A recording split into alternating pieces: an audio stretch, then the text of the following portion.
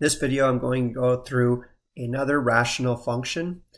This one is y equals x squared minus 1 divided by x minus 3. Now the first thing with our, when we're graphing rational functions, is we're going to find our asymptotes. So to find our vertical asymptote, I'm going to take my denominator of x minus 3, set that equal to 0, and solve for x. I add 3 to both sides, I now have x equaling a positive 3. That means I have a vertical asymptote line at x equaling 3. So I'm going to go to my coordinate plane and put a vertical line at crossing the x-axis at negative at positive 3.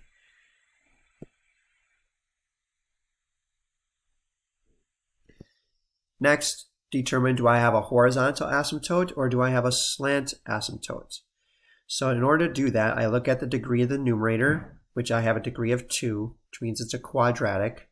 And in the denominator, I have a, I have a linear function, which is a degree of 1. Since my numerator is bigger than my denominator, I know I'm going to have a slant asymptote. In order to find the slant asymptote, I need to do long division. So in order to do long division, I'm going to take, you can either use long division or you can use synthetic division. I'm going to use synthetic division. So if I look at my denominator, or it's usually my, I look at my denominator and it says x minus 3. So the vertical asymptote is at 3, so I'm going to take 3. And 3 is going to be what I'm going to be dividing. So 3.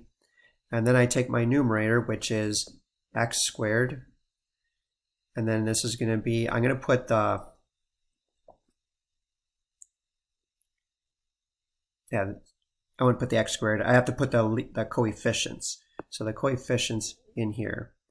Now with synthetic division, if I don't have a, I need an x, x term. I don't have an x term, so I'm going to put a zero for that, that leading coefficient. So this would be 1. Since I have a 1,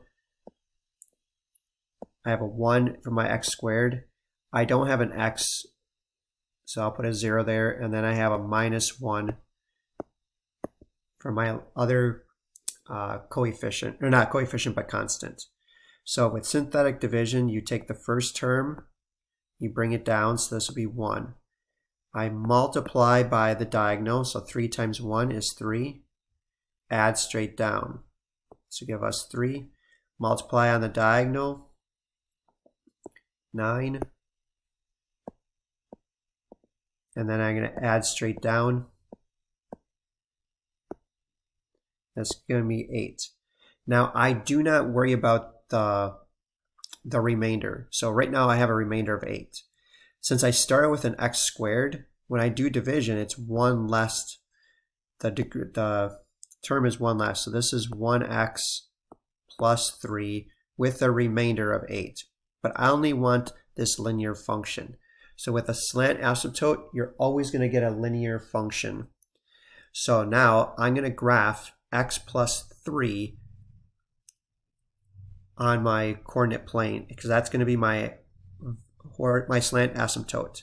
So to do that, I'm going to graph how I normally would do with a, a slope-intercept form. So I put a point at positive 3 and it has a positive slope. So up 1 over 1, up 1 over 1, and so on. I'm going to now draw my slanted line for my asymptote line.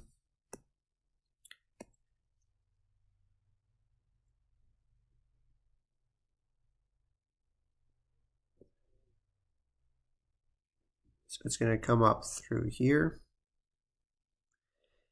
Now I can choose points on each side of the vertical asymptote to find uh, points to graph. So I'm going to go to the right. So I'm going to put, I'll just draw a table of values here. So if this is my x and this is my y. Now you can also put this on your calculator as well but I'll do it if you didn't have a calculator. So if I have a 4, if I put a 4 in for x, 4 squared is 16. 16 minus 1 is 15. So I would have 15 in the numerator. In the denominator, 4 minus, uh, 4 minus 3 is 1. So I would have 15 over 1, which would mean I would put 4 and then 15. 15 would be way up here. What if I chose 5 for x? If I chose 5 for x, I would have 5 squared, which is 25, minus 1, which is 24, divided by 5 minus 3. 5 minus 3 is 2. So then I would have 24 divided by 2, which is 12. So I would have a point at 4, or 5, 12, which would be roughly here. And if I wanted to do one more, let's say we do 6. 6 squared is 36. 36 minus, let me put these numbers down here. Uh, this one's 15, that was 12. So if I did 16, or uh, if I did a 6 squared, 6 squared is 36, minus 1 is 35. And then I would have in the denominator 6 minus 3 is 3.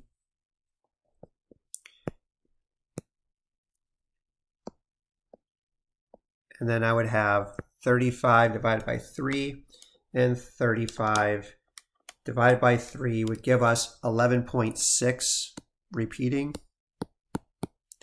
So 11.6 repeating would be roughly, say roughly here. So I know that the graph is going to come down like this, and then it's going to wrap up and follow the oblique or slant asymptote. Now what about the other side? The other side, we'll also draw a table of values. And we'll do three points as well. So I'll use 2. We'll use 1 and we'll use 0. So if I put 2 in for x, 2 squared is 4. 4 minus 1 is 3. In the denominator, 2 minus 3 is negative 1.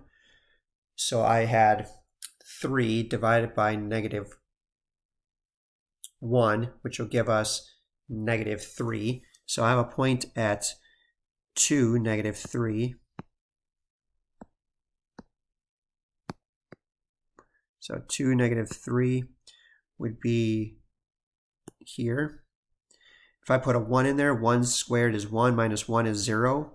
Anytime my numerator is 0, my denominator is going to be, or my uh, fraction is going to equal 0. So I have a point at 1, 0, which is my x-intercept. And then if I put a 0 in for x, that's going to be my constants left over, which would be negative 1 divided by negative 3, which is a positive 1 third.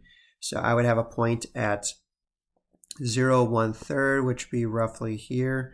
And if I want to do one more, if I put a 1, negative 1 in there, negative 1 squared is 1 1 minus 1 is 0. Therefore, I have a x-intercept also at negative 1, 0. So my graph is going to look like this. That's how you can graph this rational function with a slant or oblique asymptote line.